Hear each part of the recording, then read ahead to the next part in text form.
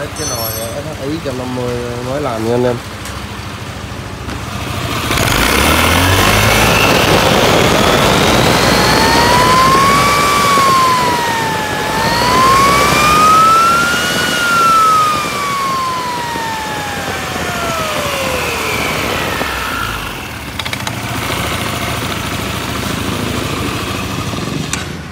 Anh em thấy không? Nó nó nó nó, nó leo qua luôn nó leo luôn khi mà nồi viên á anh em dặn á nó lên tới đây là nó đứng rồi nó không lên nữa.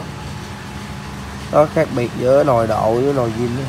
Chứ mình mình mình làm á mình mình, mình kiên trì cái bệnh mà rung ra đầu á.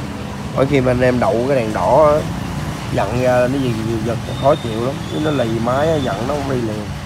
Đặc biệt nồi viên là nó chạy nó, nó, nó lì máy lắm.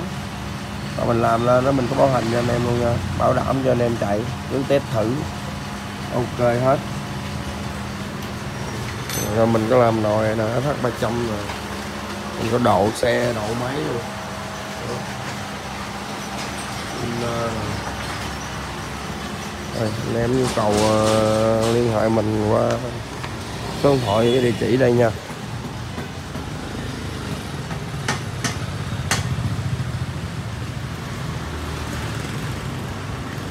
Rồi xin chào anh em đã xem tin nha.